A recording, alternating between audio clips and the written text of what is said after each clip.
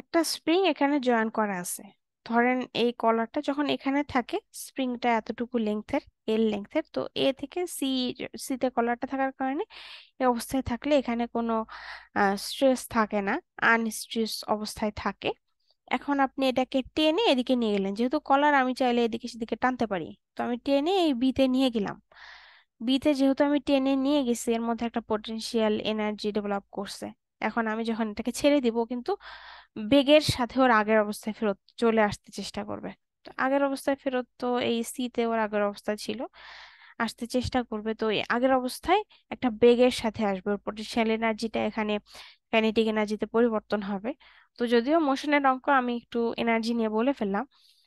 তো এইখানে ও যে গেইন করছে এখান থেকে ওর হচ্ছে যে এক্সিলারেশনটা আস্তে আস্তে বেড়ে এই বিন্দুতে আসলে একটা ভেলোসিটি হবে। এই ভেলোসিটিটা আসলে কত? আমাকে এখানে কোনো নিউমেরিক্যাল ভ্যালু নেই। এখানে এক্সিলারেশনের একটা ফর্মুলা দেয়া আছে। এই ফর্মুলা থেকে আমাকে বলতে হবে, আমার এখানে গেলে ভ্যালোসিটি কত হবে?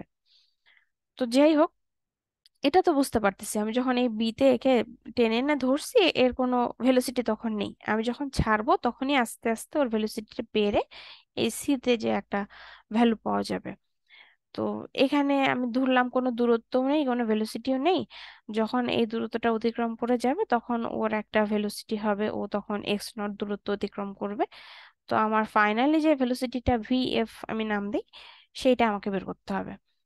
তো এখন আমরা যদি ইকুয়েশন লিখি, আমরা মোটামুটি বলতে পারি যে আমাদের হচ্ছে এক্সিলারেশন মানে হচ্ছে rate of change of velocity তো যত দূরত্ব অতিক্রম করব, তত আমাদের ভেলোসিটি বাড়বে, তাই না? ডিএক্স পরিমাণ দূরত্ব অতিক্রম করলে ডিভি পরিমাণ আমার ভেলোসিটি বাড়বে। তো এইরকম যে ব্যাপারটা এখান থেকে আমরা বলতে পারি যে rate of change of velocity যেহেতু এক্সিলারেশন তাহলে আমরা এই ভেলোসিটিটাকে এরকম হচ্ছে যদি দূরত্বের সাপেক্ষে এরকম ভাবে ইন্টিগ্রেশন করে দেখায় তাহলে আমরা এখান থেকে এক্সিলারেশন পাবো। তো এক্সিলারেশন তো একটা ফর্মুলাও দেয়া আছে, এখানে যদি আমরা ফর্মুলাটা লিখি ফর্মুলাটা হচ্ছে এরকম হবে। এখন আমরা তাহলে এখানে যেহেতু একটা রিলেশন বের করতে চাচ্ছি, আমরা তাহলে এক পাশে ডিভি গুলা রাখি আর এক পাশে ডিএক্সগুলা নিয়ে আসি। এখানে তো এক্স ছাড়া আননোন কেউ নাই। কারণ এল আর হচ্ছে হান্ড্রেড এটা তো কনস্ট্যান্ট লেংথ এটা তো কনস্ট্যান্ট এটা কোনো একটা নিউমেরিক্যাল ভ্যালু হবে। আর হান্ড্রেড এটা তো কনস্ট্যান্টই আর আমাদের ডিভি আর ডিএক্স এই দুই পরিবর্তনশীল জিনিস আমরা হচ্ছে দুই পাশে নিয়ে নিয়ে গেলে কেমন হবে? আমরা একটু লিখি। আমরা হচ্ছে V naught initial velocity V F final velocity আপনারা চাইলে এখানে জিরো দিতে পারেন। কারণ এই ইনিশিয়ালি কোনো ভেলোসিটি নেই। আর সিতে যে আমার ফাইনাল ভেলোসিটিটা হচ্ছে বিতে আমি তো ধরে রাখছি, ওর কারণে ভেলোসিটি থাকবে? তাহলে আমরা এখানে এক্সপ্রেশনটা লিখে দিলাম। আমরা বলতে পারি যে এটা আমার হচ্ছে যেহেতু ইনিশিয়াল অবস্থা ছিল, এখানে এক্স ছিল, আমি একটা টেনে নিয়ে আসছি, এটা আমার এক্স নট তো আবার তো এক্স নট থেকে এক্স ফেরত যাবে। তো আমরা এরকম বলতে পারি যে এখন আমার এক্স নটে আছে, এখন এক্স এখানে জিরোতে ফেরত যাবে। জিরো মানে আমার যেহেতু এখানেই ছিল, এখান থেকে আমি টেনে আনছি। এই জিরোতে মানে এর তখন কোনো আসলে কোনো ডিসপ্লেসমেন্ট নেই। ধরে নিলাম, আপনারা চাইলে উল্টাও ধরতে পারেন, কোনো সমস্যা নেই। তো তাহলে আমরা এখানে জিনিসটা লিখলাম। এখন এটাকে আমি ইন্টিগ্রেশন করব। ইন্টিগ্রেশন অলরেডি আপনারা শিখে আসছেন। এখানে আমি হালকা একটু করে বলব যে আমার যদি এক্স কে আমি ডিএক্স দিয়ে ইন্টিগ্রেশন করি, এখন X to the power N R dx যদি করি, তাহলে এখানে পাওয়ার বাড়বে। এন প্লাস ওয়ান হবে আর এটাকে ভাগ করতে হবে এন প্লাস ওয়ান দিয়ে। যে পাওয়ারটা হলো সেটা দিয়ে ভাগ করতে হবে। তো আমার বামের অংশটুকু তো খুব সোজা। বামের অংশ ভি আর ডিভি ছিল, তাহলে ভি স্কোয়ার বাই টু হবে। এটা তো বুঝতেই পারতেছি। আমি এখন এই ভ্যালু বসালাম না আপনারা চাইলে প্রথমে ভ্যালু বসাই দিতে পারেন। তো এটা লিমিট হচ্ছে ভি নট থেকে ভি এফ আচ্ছা তো হান্ড্রেড হান্ড্রেডের পরে যেহেতু এক্স আছে আর ডিএক্স আছে, তাহলে এটা X square divided by two হয়ে যাবে, এটা তো আমরা জানি। এখন বাকি অংশটুকু নিয়ে আমাদের প্রবলেম এখানে এল আছে এক্স আছে ডিএক্স আছে। তো ওপরে এক্স ডিএক্স আছে এক্স স্কোয়ার বাই টু হবে, কিন্তু নিচে আবার L square plus X square আছে, সেটার উপর আবার রুট ওভার আছে। ওই জন্য একটু আপনাদেরকে এখানে দেখাই ভেঙে। এখানে খুব সংক্ষেপে দেখাবো। আপনারা চাইলে আগের পড়াশোনা মনে করতে পারেন।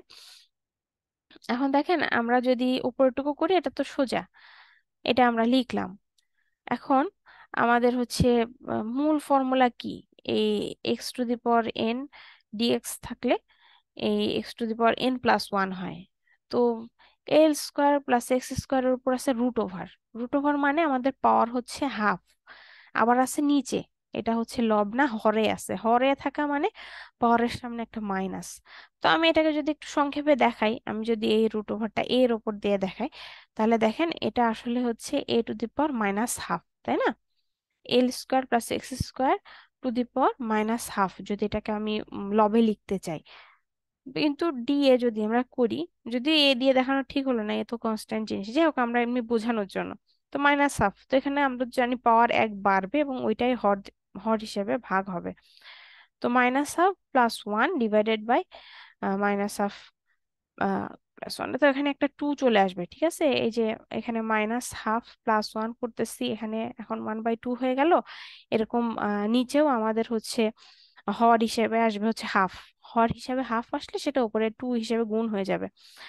যেহেতু আমরা এখান থেকে জানি যে এন প্লাস ওয়ান দিয়ে হর হিসেবে ভাগ হয়। তাহলে এখানে হাফ যদি হয় হাফ হর হিসেবে ভাগ হলে সেটা হচ্ছে টু হয়ে যাবে উপরে লবে তো এই জিনিসটাকে আমরা হচ্ছে এখন কিন্তু ওই আগের মতো রুট ওভার দিয়েও লিখতে পারি। কারণ আমার তো ছিল এই রুট ওভার আকারে। তাহলে আমরা রুট ওভার আকারে যদি লিখতে চাই, তাহলে এখন কিন্তু আমরা বুঝে গেলাম যে এই যে আমাদের হরে যে L square plus X square ছিল, সেটা এখন আমাদের লবে হচ্ছে X square L square plus X square হয়ে যাবে। তো আমাদের হলো এখন ভেতরে আমার এক্স স্কোয়ার আছে। তো এক্স স্কোয়ার যেহেতু ভেতরে আছে, ওরও তাহলে একটু আমার ইন্টিগ্রেশন করতে হবে। তো ওর ইন্টিগ্রেশনটা যখন আমরা করব, ওর ইন্টিগ্রেশনটা X square plus D X এখান থেকে যদি আমরা করি, আমরা একটা হচ্ছে ভাব পাবো। তো এটাকে আমরা যদি হচ্ছে বাইরে নিয়ে আসি, তাহলে এক্স স্কোয়ার আকারে থাকল। রুট ওভার আছে না? ওই জন্য একটু এরকম তাড়াতাড়ি করে আমরা এখানে করে দিলাম। আর ওই যে এখানে আমাদের হচ্ছে ছিল রুটের জন্য যেই টু ওপরে ছিল টু নিচে ছিল, সেই হাফ নিচে ছিল, সেটাকে আমরা টু হিসেবে উপরে নিয়ে গেলাম। তো যাই হোক, এখানে কাটাকাটি করে আপনারা ফাইনালি পাবেন হচ্ছে এল থাকবে into square plus X square finally এরকম থাকবে, ঠিক আছে? এটা আপনাদের আগে করে আসা অঙ্ক এই জন্য আমি ডিটেলসে করলাম না। আমি জাস্ট ধরাই দিলাম যে কোন কোন ফর্মুলা আমরা এখানে ফলো করছি। তো যাই হোক, এই জিনিসটা আমরা এখন লিমিট সহ দিয়ে দিলাম। এখন আমরা তো জানি যে যখন বিতে আসে ওর কোনো ভেলোসিটি নাই। বিতে থাকার সময় ওর কোনো ভেলোসিটি নাই। আমি যখন ছেড়ে দিচ্ছি, তখনই ওর ভেলোসিটি হচ্ছে। তো যেহেতু ভেলোসিটি নেই, ওটা শুধু শুধু লেখার দরকার নেই। কারণ এই অংশে আমার ভি ছাড়া কোনো টার্ম নেই। ভি ছাড়া কোনো টার্ম থাকলে এই শূন্যর জন্য ভ্যালু বসায় দেখতে হতো। তো যাই হোক, আমরা এখন করি, যেমন এখানে যদি আমরা শূন্য বসাই এক্সের জায়গায় যদি শূন্য বসাই, এটুকু শূন্য হয়ে যাচ্ছে, কিন্তু বাকি কিন্তু থাকতেছে L into root over L square শেষ পর্যন্ত এল স্কোয়ার হবে, একটা ভ্যালু থাকতেছে, কিন্তু এখানে তো শুধু ভি ওয়ালা টার্মই আছে। তার সাথে শূন্য গুণ করলে তো কিছুই থাকবে না। তো ভি এফ এর জন্য আমরা হাফ ভি এফ স্কোয়ার করলাম। আচ্ছা এখানে মাইনাস ছিল মাইনাসগুলো আমরা দিয়ে দিলাম।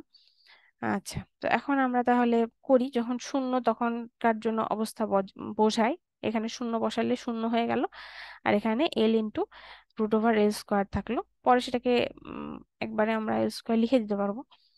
এক্স নট এক্স নটের জন্য যা হয় আমরা একটু লিখলাম। ঠিক আছে, আমরা এখন লেখার পরে, এখন দেখেন এইখানে আর নতুন করে কিছু বোঝার নেই। এখন এটাকে জাস্ট সিম্পলিফাই করে আমরা ভি এফ সমান কি হয় সেটা লিখব। এখানে আমি সেজন্য আর ডিটেলস লিখলাম না, আপনারা একটু এটা করে নিন। এখানে ডিটেলস এর দেওয়ার দরকার নেই। এখানে কাটাকাটি করলে এরকম একটা চেহারা আসবে।